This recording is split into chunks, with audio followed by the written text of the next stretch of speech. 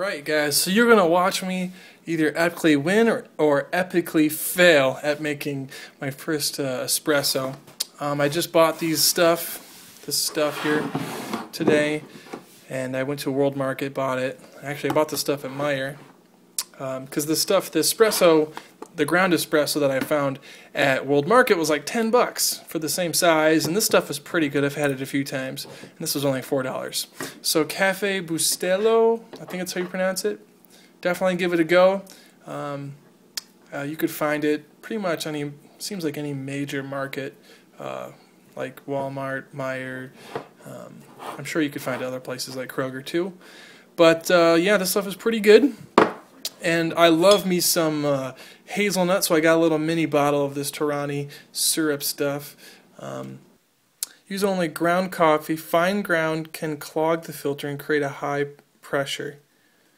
Okay, so maybe this is fine grounded. I'm not sure. Well, we'll find out. So,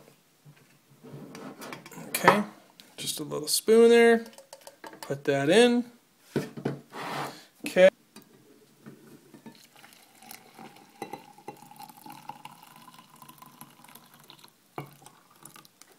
Uh, I say it's about four ounces. I don't know.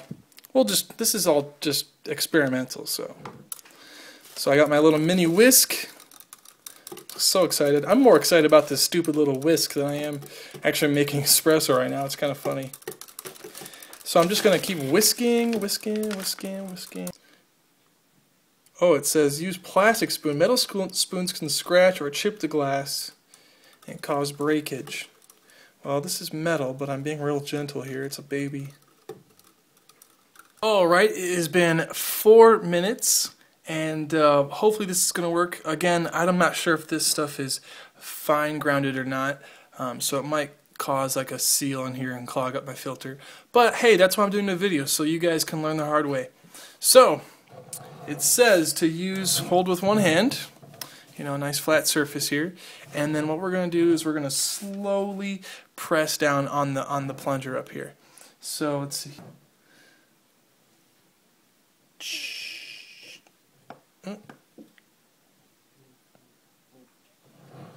you can see that, you can see the plunger halfway down.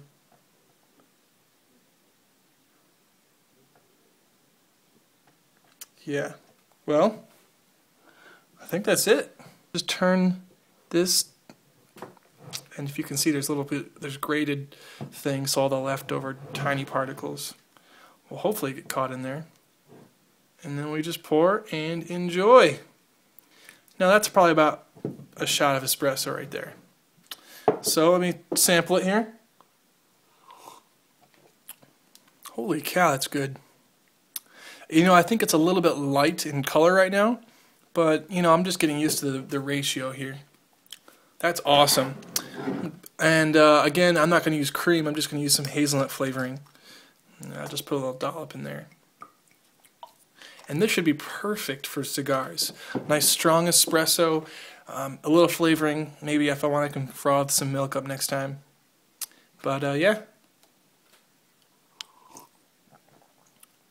Oh yeah, that's awesome. And then my pastor, he's half Cuban, and he taught me how to make Cuban coffee, which is like strong, strong coffee with a ton of sugar. So maybe I'll do that sometime as well. But that's it for now. You guys enjoy your day.